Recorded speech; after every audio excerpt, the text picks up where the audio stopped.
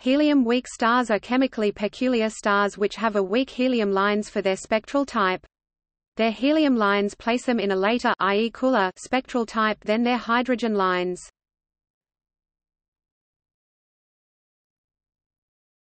Topic: List of helium-weak stars. This is a non-extensive list of helium-weak stars. HR 939 HR 1100 HR 1121 HR 1441 HR 2509 HR 3448 HR 4801 HR 8137 Theta Hydrae HD 34797 HD 35456